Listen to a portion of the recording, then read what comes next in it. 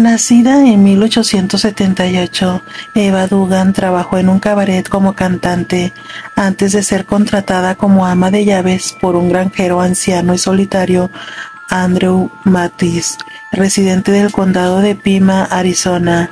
Por razones desconocidas, después de dos meses, Andrew despidió a Eva. Poco después, Andrew desapareció junto con algunas de sus posesiones, su automóvil Dodge y su caja con dinero en efectivo. Los vecinos de Andrew informaron que Eva había intentado vender alguna de sus posesiones y ganado antes de desaparecer también. Sin embargo, cuando los investigadores fueron a interrogarla, no la encontraron por ninguna parte.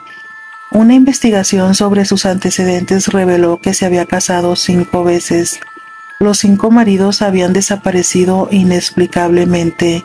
Finalmente, los investigadores rastrearon a Eva. Estaba trabajando en un hospital en White Plains. El 4 de marzo de 1927 fue extraditada a Arizona. Meses después, el cuerpo asesinado de Andrew fue descubierto en una tumba poco profunda en su tierra. Eva negó cualquier participación en el asesinato y todas las pruebas presentadas en el juicio fueron puramente circunstanciales.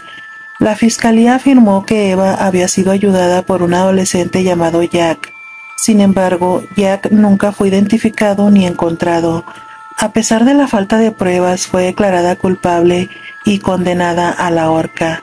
Mientras estuvo encarcelada, permitió entrevistas por un dólar y vendió pañuelos bordados. Con el dinero ganado compró su propio ataúd. A medida que se acercaba la fecha de su ejecución, comenzó a circular el rumor de que Eva planeaba suicidarse. Su celda fue registrada y una botella de amoníaco y tres cuchillas de afeitar escondidas en un vestido fueron confiscados. Finalmente llevaron a Eva a la horca a las 5 de la mañana del 21 de febrero de 1930. Tembló ligeramente cuando la soga le fue colocada alrededor del cuello y negó con la cabeza cuando le preguntaron si quería decir unas últimas palabras. La trampilla se bajó a las 5.11 y por un mal cálculo del verdugo, que calculó mal la distancia, hizo que la cuerda decapitara a Eva lanzando su cabeza a los pies de los espectadores. Después de la espantosa ejecución, la horca fue reemplazada por la cámara de gas, lo que convirtió a Eva Dugan en la única mujer ejecutada en la horca en Arizona.